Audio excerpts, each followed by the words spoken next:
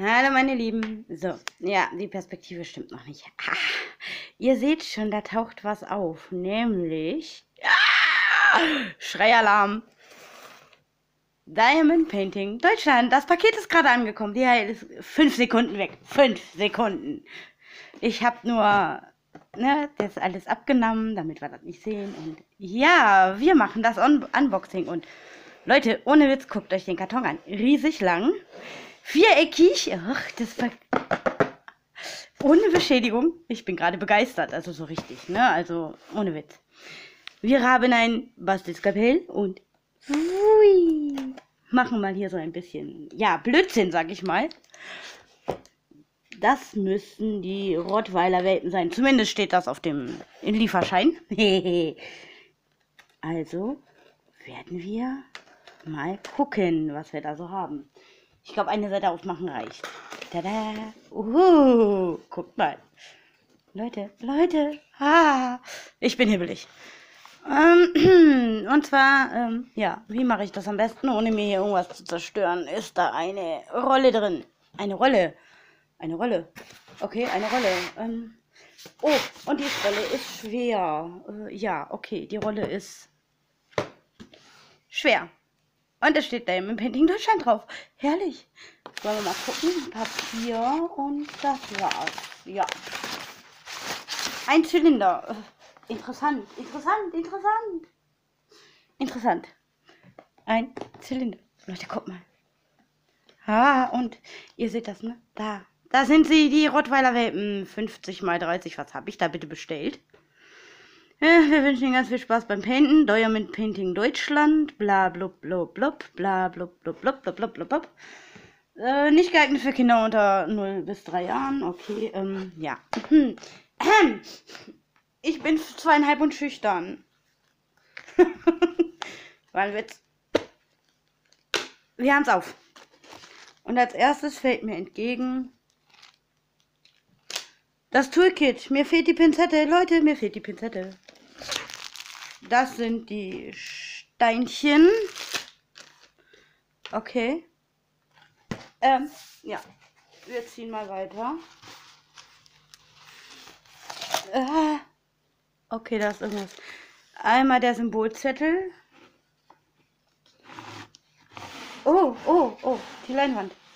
Oh, oh. Und Papier. okay. Die Leinwand und Packpapier. Naja gut, Packpapier. Stellen wir den Zylinder mal dahin und gucken mal langsam weiter. Auspacken ist immer schön, Leute. Auspacken ist immer schön. Ach, guck an. Hier haben wir. Was bist du denn? Ei, guck mal. Und das ist sogar. Ah, danke fürs Goodie, meine Lieben. Das ist ein ja, so ein, so ein, so ein Handgelenkschoner. So, da ist sie, die besagte Pinzette. Und äh, ich glaube, die gucken wir uns jetzt als erstes an, oder?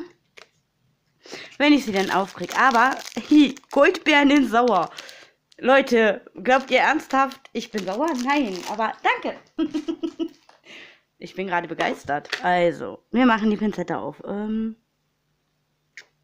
Antimagnetik und Anti... Äh, okay. Antistatische Pinzette habe ich auch noch nicht gehört. Ihr seht, was ich hier tue, oder? Ja, ne? Ja, gut. Ich liebe mein Bastelskalpell, weil... Äh, ja. Genau deswegen. Es lässt sich damit die Verpackung besser öffnen. Eieiei.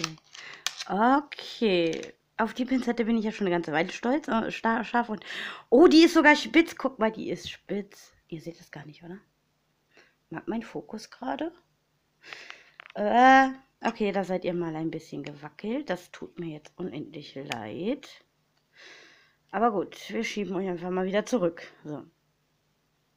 Machen wir mal gucken, ob der Fokus jetzt will.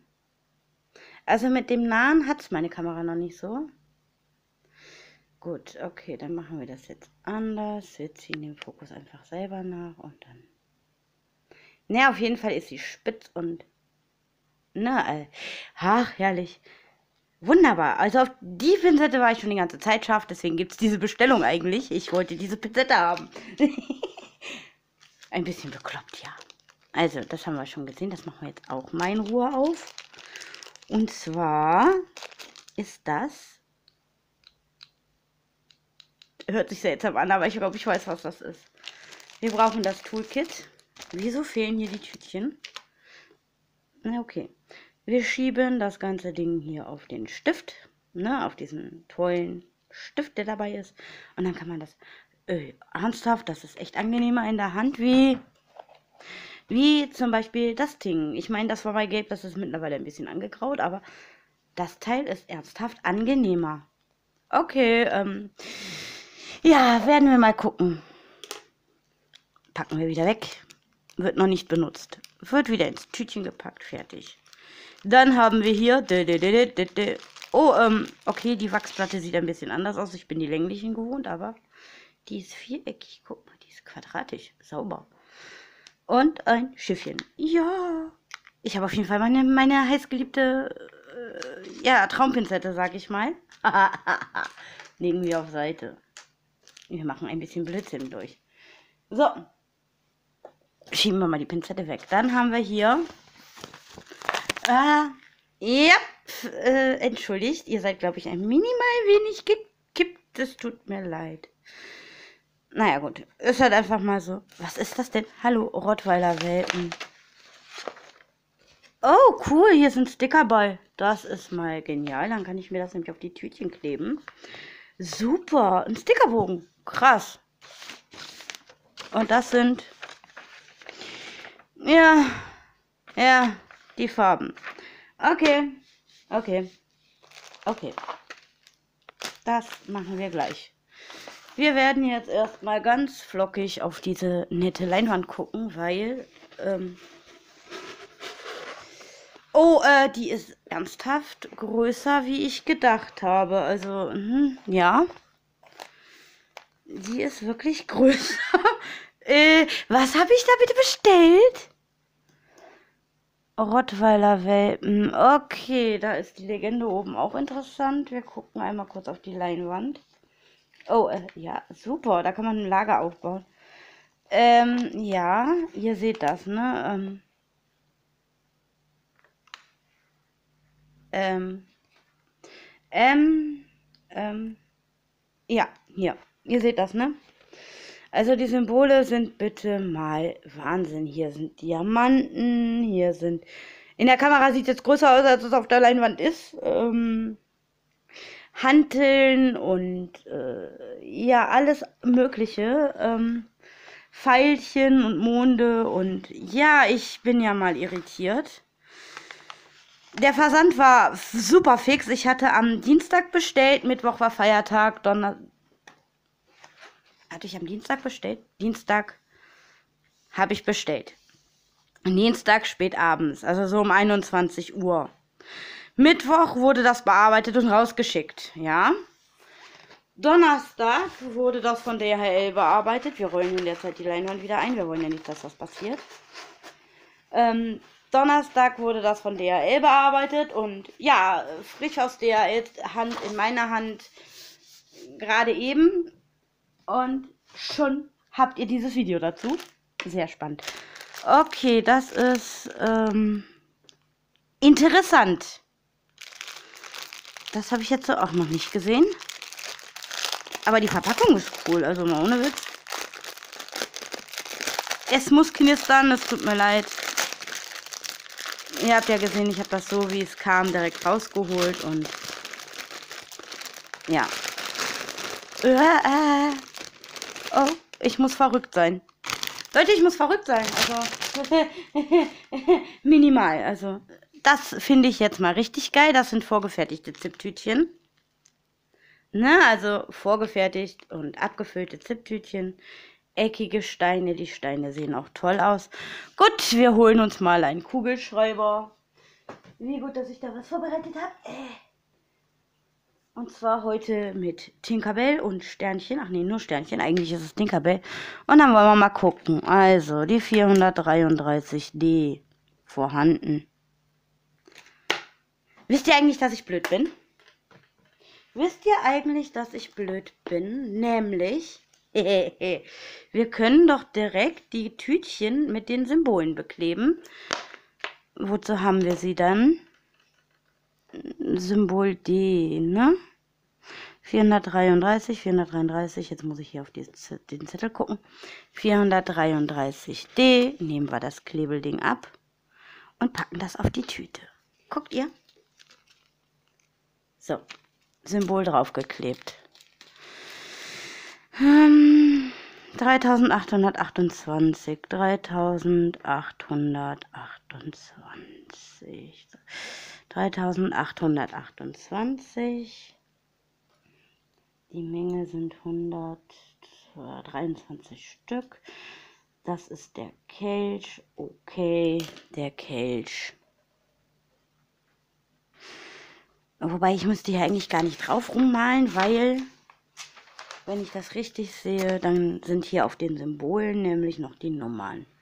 So, ne, man sieht das. Der Kelch war das, ne, der Kelch war das. 338, 28, okay. Anwesend. Klebt. Bitteschön. Und so ziehe ich mir das jetzt mal eine Runde. 3819 ist der Akku. 3819, der Akku. Jawohl. Und das sind jetzt 89 Farben. Ähm, ja, man könnte meinen, das ist äh, leicht übertrieben. Ist es auch. ein Telefon, Leute, guckt mal, ein Telefon. Ich bin ja begeistert. 37,99 ist also ein altes Telefon. Und zwar eine alte Wählscheibe. Guckt ihr da, da ist die Wählscheibe. Ähm, man könnte jetzt meinen, ich leider an Größenwahn. Und ich würde sagen, ja. Natürlich. Natürlich leide ich an Größenwahn, sonst würde ich das nicht tun. Weil, äh, ja, ist halt einfach so. Und da ich jetzt keine Lust habe, so in fünf Minuten das Unboxing zu ziehen, weil, ne, da, 37,19, eine Schneeflocke. Ach nein, wie herrlich. Ähm, machen wir das Ganze jetzt zusammen. Stickerchen aufkleben und ein bisschen. 166, guck dir. 166. Ähm, ja, was hat mich dazu bewegt, dieses Bild zu bestellen? Erstens, ich wollte wissen, ähm, wie verpackt Diamond Painting Deutschland? Dazu kommt, ähm, ich wollte mal mehr wie 45, 50 Farben.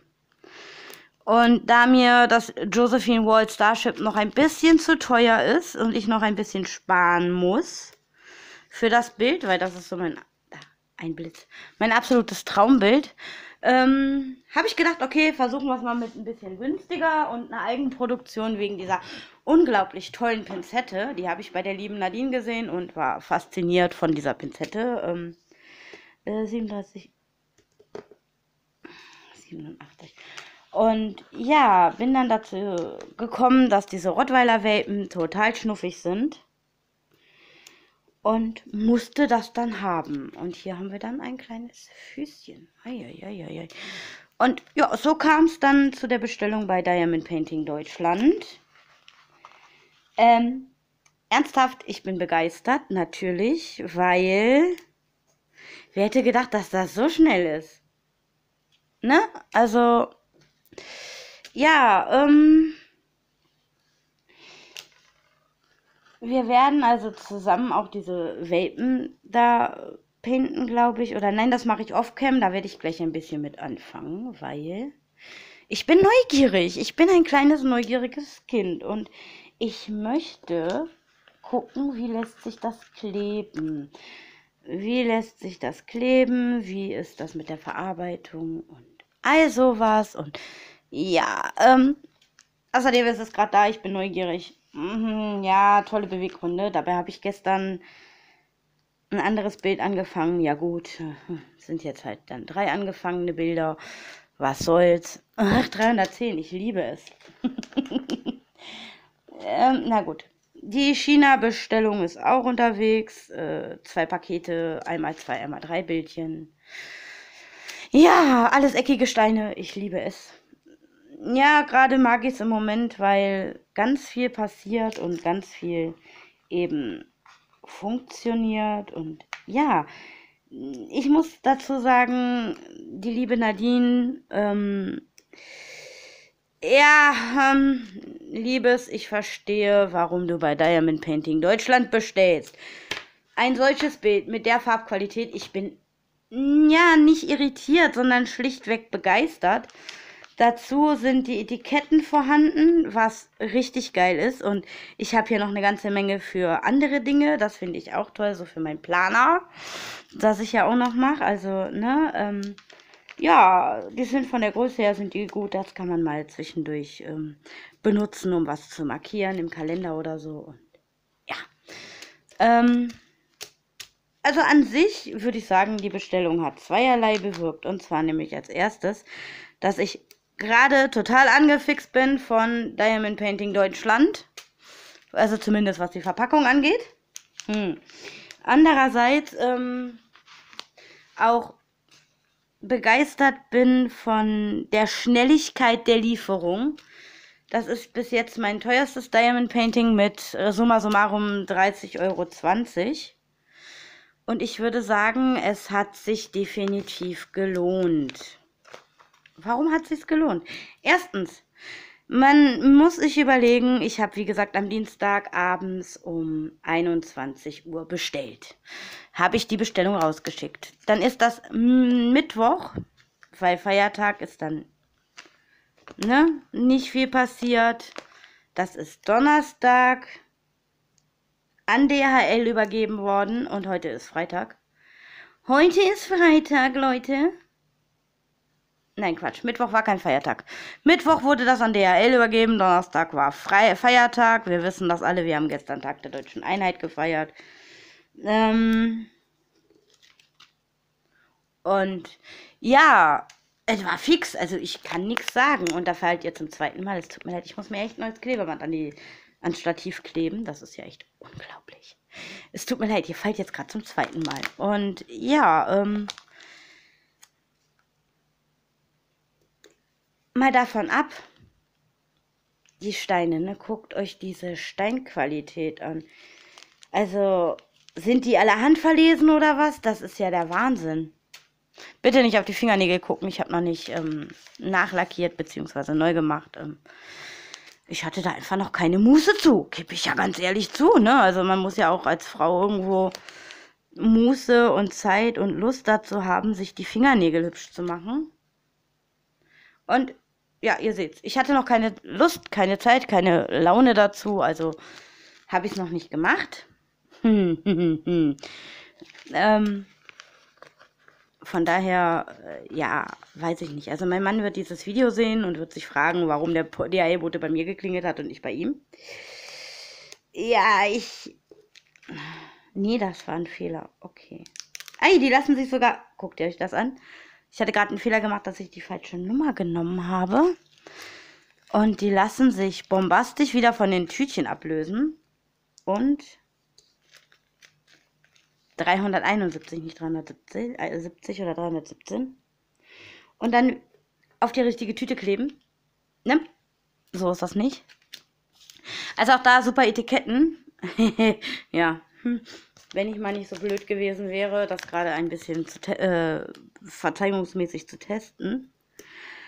Aber ja, gut. Ähm, das kommt mir jetzt gerade echt zu, zu, zugegen, dass hier die Etiketten bei sind. Weil,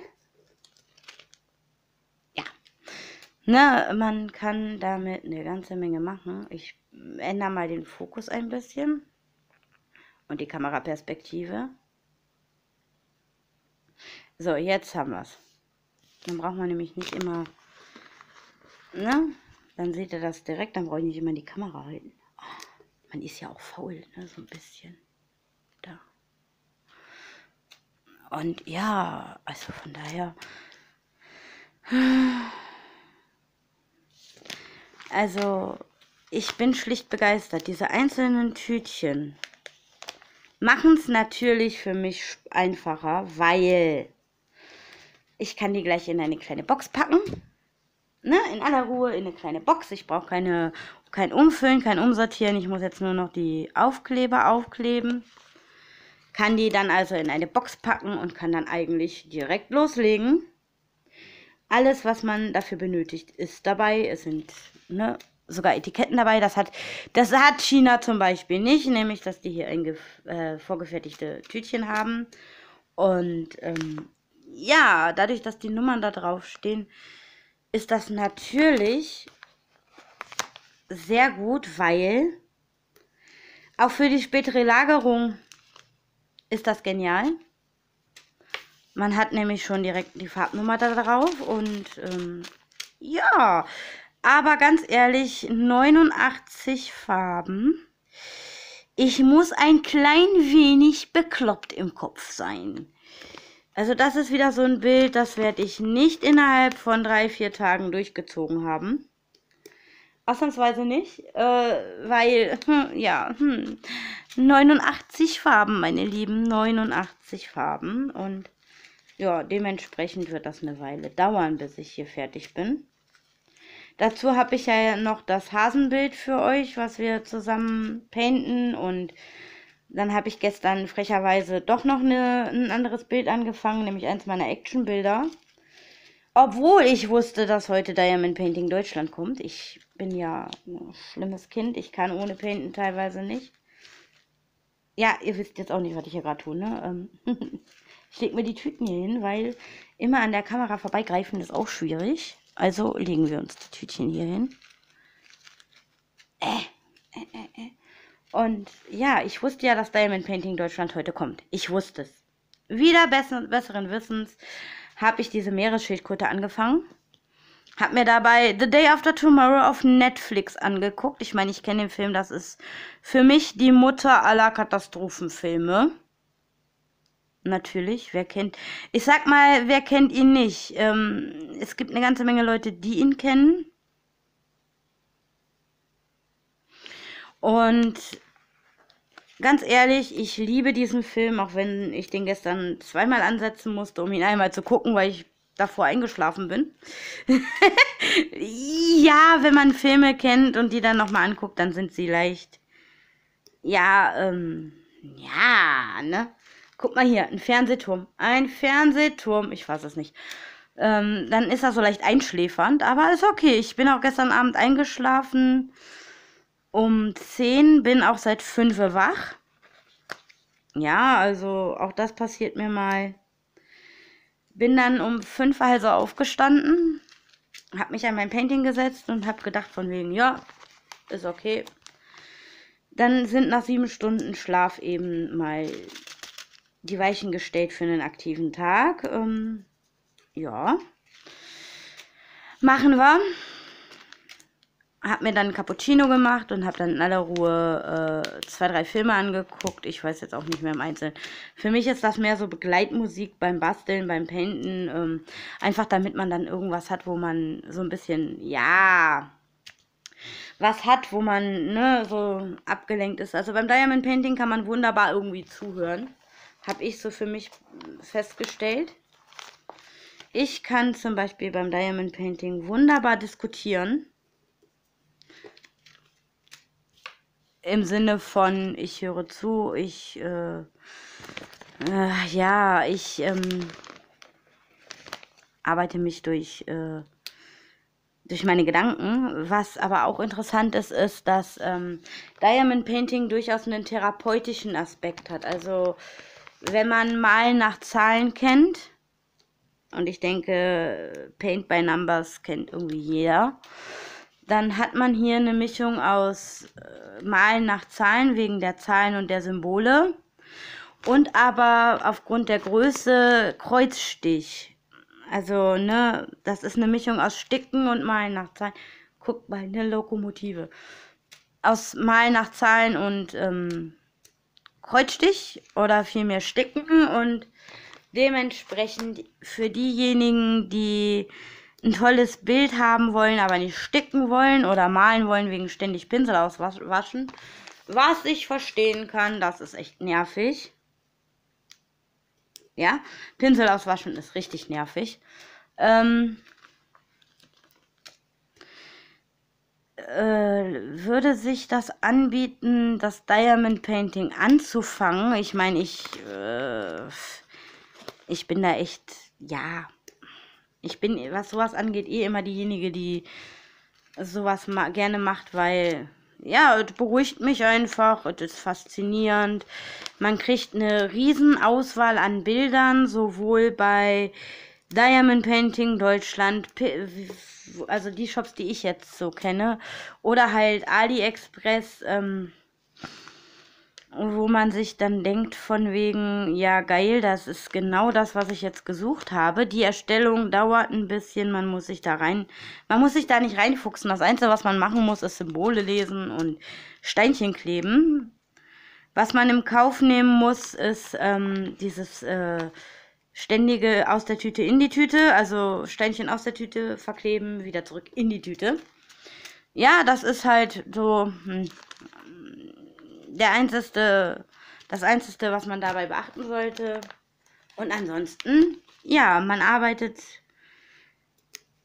man arbeitet einfach sich vor und was entsteht ist, der ganze Prozess ist genial. Also, ne, ähm, der ganze Prozess ist genial. Und hier hat sich beim Verpacken ein Steinchen verirrt. Also werden wir diese Tüte einmal öffnen. Nein, ihr kippt jetzt nicht nochmal. Du blöde Kamera. Ich mag sie gerade nicht. Also, ne, setzt mir nicht böse. Aber ich mag meine Kamera gerade nicht. Hier liegt ein Steinchen, dann macht man die Tüte eben ein Stück auf, schiebt das Steinchen da rein, weil ist ja die gleiche Farbe, macht das Tütchen wieder zu und schon ist das Steinchen gerettet. Schlägt das ein bisschen runter und tada, nichts passiert. Diese Kamera nervt. Also ich muss mir da wirklich ein gutes Stativ besorgen. Wenn ihr also ein guten, gutes, vernünftig funktionierendes, nicht kippelndes Stativ kennt, was nicht unbedingt äh, Klebeband braucht, um zu halten, dann dürft ihr mir das gerne mal äh, unten in die Kommentare schreiben. Ähm, weil es ist nervig. Es ist richtig nervig, dass dieses Stativ immer mal wieder kippelt und ja. Solche Dinge. Ähm, jo. Es ist nervig. Ganz ehrlich, es ist nervig. So, 451.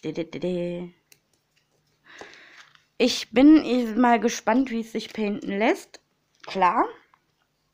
Ähm, ich werde euch zwischendurch, denke ich, an die Rottweiler Welpen, werde ich euch ein kleines äh, Update posten. Also mal immer so kurz vor dem Paint wird ähm, für von einem Brianna Painted mal einen Blick drauf, wie weit bin ich, wie lässt sich painten, solche Dinge. Was wir jetzt also gerade machen, ist Sticker kleben und Tüten sortieren. Ne, ähm, darauf achten, dass die Kamera nicht umfällt. Also sowas halt. Und ja, guckt mal, ein Mond, der Mond, der Mond, der Mond. Ähm, ja. Was auch ganz toll ist, wirklich toll ist, ist, dass das wirklich vorgefertigte Tütchen sind. Ne? Also auch für, wie gesagt, für die spätere Lagerung ist das für mich natürlich ganz toll, weil im Moment ähm, habe ich da noch gar kein System. Ich schmeiß das alles in einen der großen China-Beutel und ähm, ja, lager das da so in meiner Eckbank.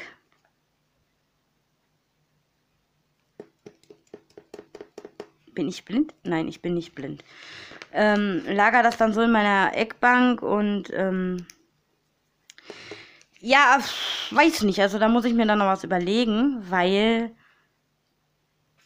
ja, es ist halt, ähm, ich sag mal, kontraproduktiv. Ähm, weil immer wieder muss man suchen und ja, es ist halt ein bisschen nervtötend. Aber auch das macht Spaß. Wie gesagt, das ist jetzt Bild 1 von 6. Das schnellste. Die anderen dauern noch. Also das kann noch bis Mitte Oktober dauern, bis die ankommen. Ich denke aber, wir haben eigentlich noch genug zu tun, weil nach dem Hasen habe ich hier noch ähm, noch die Bücherei, also diese, diese Privatbibliothek liegen, die wir painten könnten. Ähm, die Welpen werde ich off-cam machen, genauso wie die Meeresschildkröte, aber wir hätten ja noch den Tiger. Also wir werden die Zeit schon überbrückt kriegen. Nichtsdestotrotz läuft auch das 50 Abonnenten, die 50 Abonnenten Dankeschön Verlosung ähm, noch bis zum 9. Da könnt ihr also gerne auch mal gucken, ob euch das interessiert, ob euch das nicht interessiert. Ähm, ne, würde mich über die rege Teilnahme freuen. Klar. Dann bin ich unendlich dankbar, dass ihr wirklich euch das zu Herzen genommen habt und bei Fimotinker, bei Fimotinkers Ersatzkanal ein Abo dagelassen habt. Danke dafür, meine Lieben. Ich meine, klar, äh, äh, ne? Hätte man von mir auch nicht erwartet, aber die Fimotinker, die Swantje ist eine ganz liebe und ja. ganz ehrlich, ich bin begeistert von euch. ich bin dankbar, dass ich äh, euch unterhalten darf. Ich bin dankbar, dass ihr zuhört und dass ihr auch hingeht und wenn ich dann mal sowas sag wie, ihr könnt ja mal gucken und ne, eventuell Abo und so da lassen, dass ihr das dann auch tut, weil das ist auch für mich nicht selbstverständlich. Ähm, achso. 838. Jetzt habe ich gerade ein falsches Etikett abgelöst. Ähm, jetzt muss ich gerade mal gucken, wo sie ist. Ähm, na, also da. Äh, dass ihr das dann auch tut und nicht sagt von wegen, äh, nee, wollen wir nicht, sondern wirklich diejenigen, die das möchten, die gehen hin und abonnieren da und kommentieren und liken und ich finde das großartig. Ganz ehrlich, Leute, das hätte ich nie gedacht. Ich finde es ganz toll. Ja, ganz großes Lob an euch natürlich, weil ich das nie, nie, nie geglaubt hätte, dass ihr so klasse seid, dass ihr das macht. Ich habe immer gedacht, ne, dass, ähm, ich sag das zwar und ihr seht das und denkt euch, oh, nö, wollen wir nicht. Und Ihr überrascht mich, ihr überrascht mich, macht mich wahnsinnig glücklich, überrascht mich und ich bin unendlich dankbar dafür, dass ihr das wirklich getan habt, weil auch das nicht selbstverständlich ist.